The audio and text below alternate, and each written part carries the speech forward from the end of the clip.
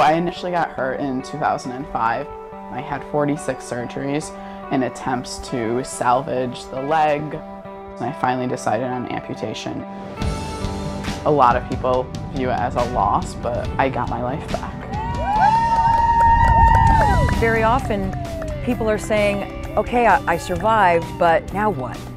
And we want to be that now what? Good job, lovelies! I was a world-class adventure racer. In the World Championships, I hit the deck and the doctor said, you're never gonna run again. I've had four hip replacements.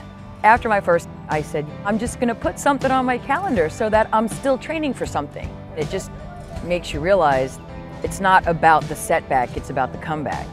So I thought, let's do that for other women. Athena! I started an organization that helps survivors of medical or traumatic setbacks live an adventurous dream as part of their recovery. This is about you going out there and being the badass that you are. You're a strong kid, Allie girl. I was in a place of such uncertainty, so finding the website was such a message of hope to me. Here was this group of women who understood it on a different level. Athena girls! Being an Athena, you're not just a survivor, you're an adventurer. We give them a different label to put on themselves, and it's something they become on their way to the finish line.